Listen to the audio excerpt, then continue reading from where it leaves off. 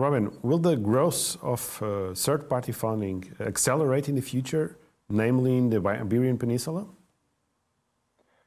I think without any doubt at all. Uh, this started in Australia and moved uh, out to the UK and the USA, which have very similar legal systems.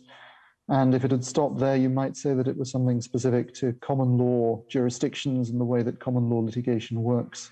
But you only have to look at the Spanish market, which is maybe a few years ahead of the Portuguese market, to see that it's following the same sort of trend as the, the UK and US followed before. Uh, and across Europe and uh, major dispute centers in the Middle East and Asia, you see third party funders entering those markets and immediately being welcomed by uh, sophisticated litigants at first.